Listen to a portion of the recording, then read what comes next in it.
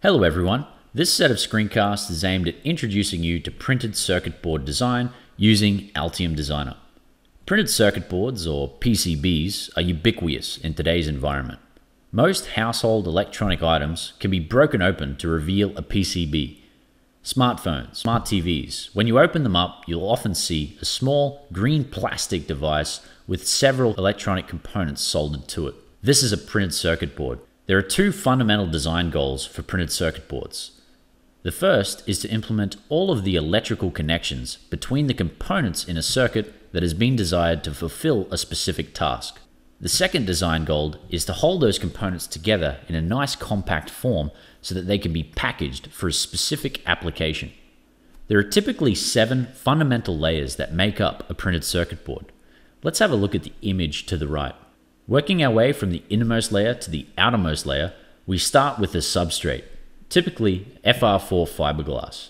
The substrate provides a mechanical rigidity to the PCB and it also insulates the device from heat. The next layer is a thin layer of copper that surrounds the substrate. The copper is typically patterned into a series of tracks that connect the components to one another to allow electrical connection to exist. These copper tracks are created using an etching or milling machine. The next layer is the solder mask. Typically, this provides that green plastic that you often see associated with PCBs.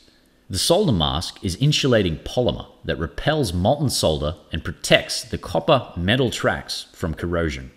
The outermost layer is the silkscreen layer, and it typically contains printed text and symbols that annotate the board.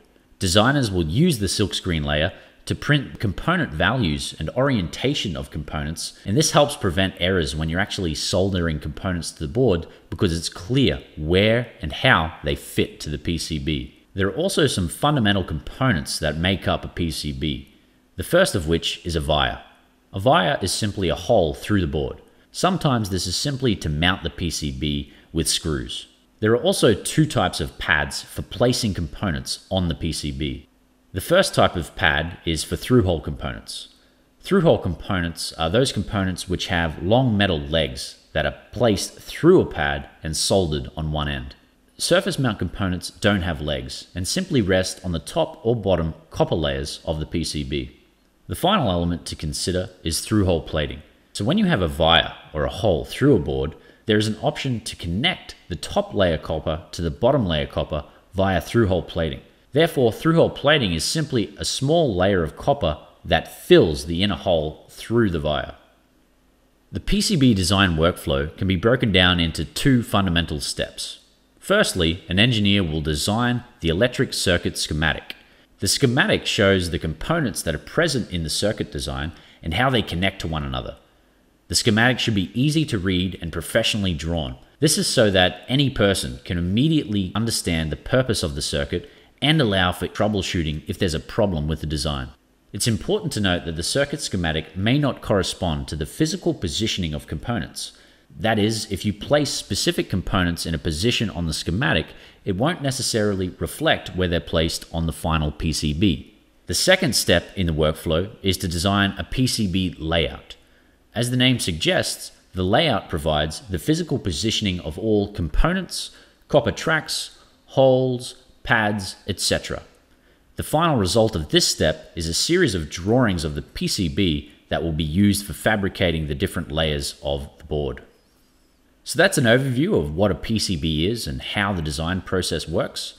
Let's now look at getting started with Altium Designer. Altium Designer is the industry standard for PCB design. It's a robust and powerful application and if you're a designer in the embedded systems industry, it's likely that you'll be using Altium Designer to create PCBs.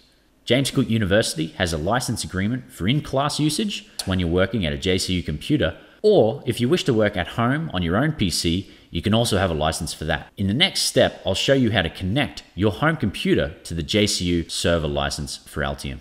If you don't have an Altium license for whatever reason, Several free alternatives exist, such as KiCad EDA, Autodesk Eagle, and DesignSpark PCB. Ultimately, if you learn how to use Altium, you can learn how to use any of these packages because the PCB design process is similar across these software packages.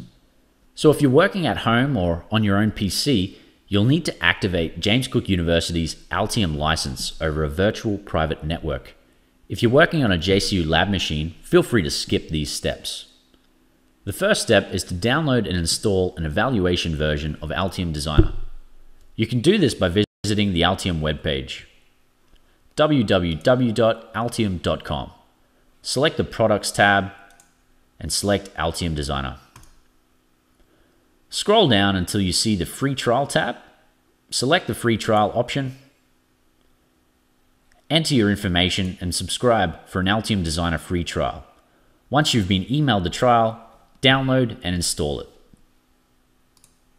After you've downloaded Altium, the next step is to make a VPN connection to James Cook University. The JCU IT staff have created a very useful guide for proceeding with this step.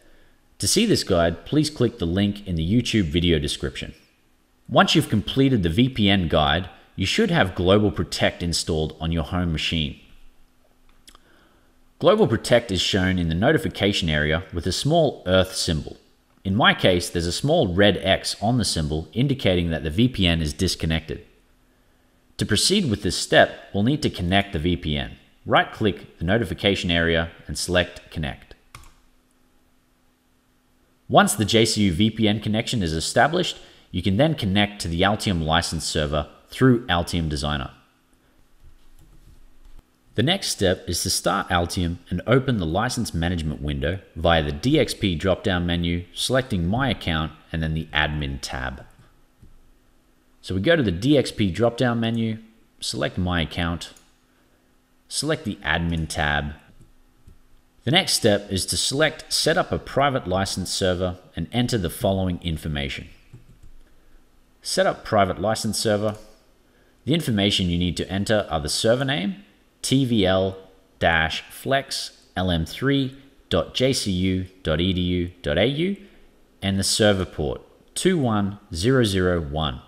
Also make sure you have the username radio button selected for the primary server and select OK. Eventually, Altium will connect to the private license server James Cook University has subscribed to. You then may need to select the Altium Designer tab shown here and select Activate License. To view the status of your license, you can drop down the Altium Designer licenses and you will see your computer's hostname listed under the available licenses. Now Altium is ready to use. Now that you have Altium Designer installed, let's take a brief moment to get familiar with the Altium Designer environment. In the top left-hand corner via the DXP drop-down menu, you can access Altium's system menu. This allows you to modify features such as environment preferences and license server information. Whenever you have an open document, it will exist in a document tab at the top page of the screen. There are also several menus, toolbars, and shortcuts for operating specific tools in the Altium environment. A navigation toolbar exists in the top right that allows you to search for specific folders and files. The main design window takes up the large portion of the screen. So when you're designing a schematic or a PCB, you have a view of the entire document.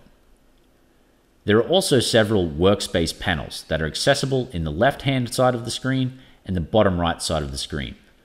There are workspace panels for managing the projects and managing the various tools for schematic and PCB editing. This completes our getting started with Altium video. In the next series of videos, you're going to work along as we develop an example project from start to finish, working on the schematic, the PCB, and then the fabrication outputs.